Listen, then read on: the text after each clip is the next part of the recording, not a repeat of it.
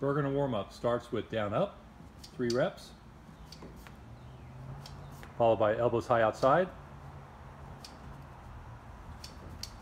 followed by muscle snatch, followed by snatch land to quarter squat, half squat, three quarter squat, followed by snatch drop, all the way to the bottom. Speed is key. Now let's put the whole thing together.